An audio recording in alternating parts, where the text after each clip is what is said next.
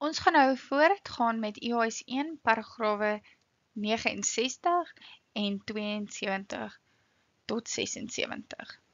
Ons het klaar gekyk na paragrawe 69 en paragrawe 72 tot 75. En ons gaan nou begin met paragraaf 76. Paragraaf 76 sê vir ons die volgende. In respect of loans classified as current liabilities, So we've already said there are going to be current liabilities in terms of the previous paragraphs. If the following events occur between the end of the reporting period and the date when the financial statements are authorized for issue, so it happens within that IS 10 period. Those events are disclosed as non-adjusting events in accordance with IS 10 events after the reporting period. So these events are refinancing on a long-term basis, rectifying of a breach of a long-term loan arrangement, and the granting by a lender of a period of grace to rectify a breach of a long-term arrangement ending at least 12 months after the reporting period. So hierdie kom net weer en integreer jou EIS 10 kennis. Ons het na al hierdie situasies gekyk as die gebeure na jaar einde gebeur, hierdie gebeure, dan het ons gesê die omstandighede het nie geheers op jaar einde nie. So in die vorige video het ons klaar gekyk na die situasies en die paragraaf sê net vir ons, ons vind nou ook inlichting openbaar in terme van EIS 10 vir hierdie situasies. As ter opsomming van paragraaf 76, Ons sê alles wat reeds geklassifiseer is as bedryfslaste in terme van die vorige paragrawe, dan sê ons selfs al vind hierdie gebeurtenisse plaas tussen um, magtigingsdatum en jaareinde. So dit het nou na jaareinde plaasgevind, maar voor magtigingsdatum. Nou, hierdie gebeure sluit in herfinansiering en regstelling van verbreking en verleen van grasie tydperk dan sê ons, ons moet dit openbaar as een nie aansuiveringsgebeurtenis in termen van EIS 10. Nou, hierso is die kritiese punt.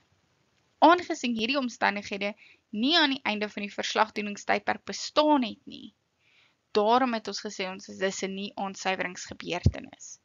En ons het reeds in termen van die vorige paragraaf gesê hierdie is bedrijfslaste en nou sê hierdie paragraaf net wat met ons extra openbaar.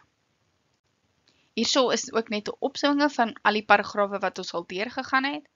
Paragraaf 72 het vir ons gesê 'n las is 'n bedryfslas wanneer die paemente verskuldig is binne 12 maande al was die oorspronklike tydperk langer as dit en as herfinansiering gebeur na jaareinde. By paragraaf 73 het ons gaan kyk na het die entiteit die diskresie om te herfinansier of het hulle nie? As die entiteit nie die diskresie het om te herfinansier nie, dan is dit 'n bedryfslas. Wanneer die entiteit wel die diskresie het en hulle verwag om dit te doen, dan is dit 'n nie bedryfslas.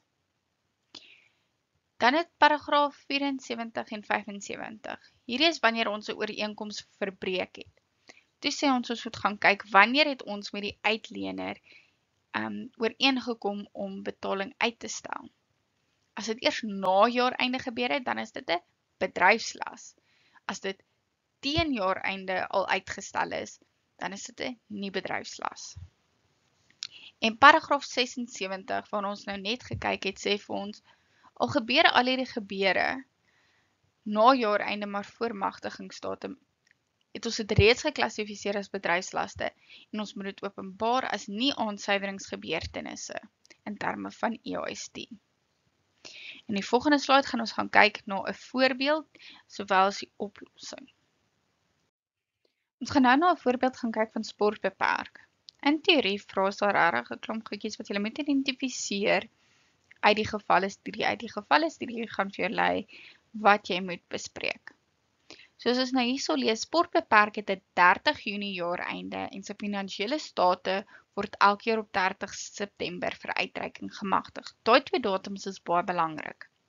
Sportbeperk het gedurende die jaar geëindig 30 Junie 2012 'n stuk grond vanaf 10 beperk aangekoop Die grond is op 1 Januarie 2011 in Sport beperk se naam geregistreer.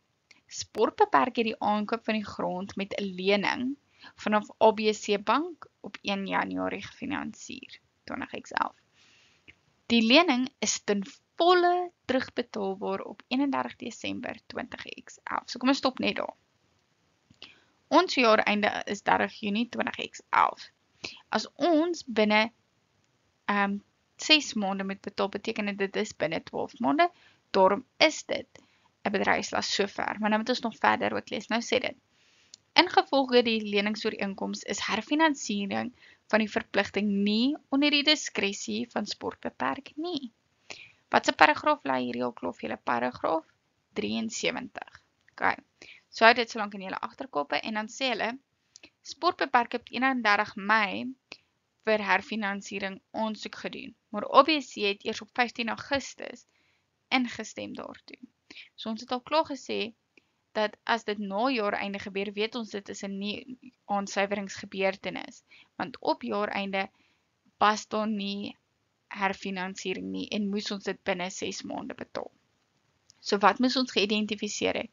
Die jaar einde is 30 Junie, magting is 30 September, herfinansiering is 15 Augustus, daarom is dit 'n nie aansuiveringsgebeurtenis.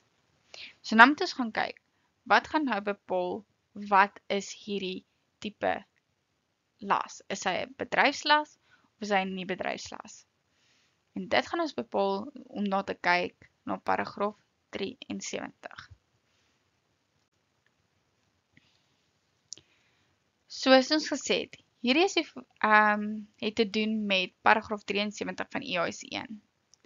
Die kwessie is, gaan ons dit as 'n bedryfs of 'n nie bedryfslas klassifiseer? So nou moet jy altyd in 'n teorie vraag die toepaslike teorie neerskryf. Jy hoef nie die paragrawe te ken nie, jy moet net die teorie ken. Okay, so jy hoef nie paragraaf nommers te ken nie. So ingevolge paragraaf 73 indien 'n entiteit verwag en oor die diskresie beskik om 'n verpligting ingevolge 'n bestaande leningsfasiliteit te herfinansier of vir minstens 12 maande na jaareinde ter die verslagdoeningstydperk te hernie word die verpligting as 'n nie bedryfslas geklassifiseer selfs al sou dit andersins binne 'n korter tydperk betaalbaar wees dan indien die herfinansiering of die hernuwing van die verpligting nie binne die diskresie van die entiteit is nie, word die moontlikheid om die herfinansiering te doen nie oorweeg nie en word die verpligting as 'n bedryfslas geklassifiseer. Want wat het ons in terme van paragraaf 73? As die entiteit die diskresie het en hulle verwag om dit te doen, dan is dit 'n nie bedryfslas. As jy identiteit nie die diskresie het om te herfinansier nie, dan is dit 'n bedryfslas as dit nou binne 'n korter tydperk terugbetaal moet word. OK. So, in teorie noem jy al twee die toepaslike situasies. Jy noem as ons die diskresie het en as ons nie die diskresie het nie. Dan in die volgende slide gaan ons nou gaan kyk na hoe pas ons hierdie situasie toe. So in ons teorie het ons gesê die bepalende faktor is het die entiteit die diskresie of nie. So ons het gesê op jaareinde het sportbeperk nie die diskresie om die lening te herfinansier nie.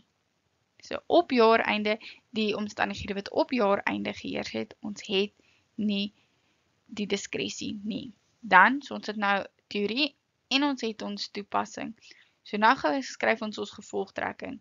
Gevolglik sal sportbeperk die lening as 'n bedryfslas klassifiseer. Selfs al was herfinansiering vir vir langer as 12 maande na jaareinde goedgekeur. OK. So dit was EOS 1 paragrawe 69 en 72 tot 76. Dit is baie belangrik dat jy weet wanneer word 'n las geklassifiseer as 'n bedryfslas en wanneer word dit geklassifiseer as 'n nie bedryfslas.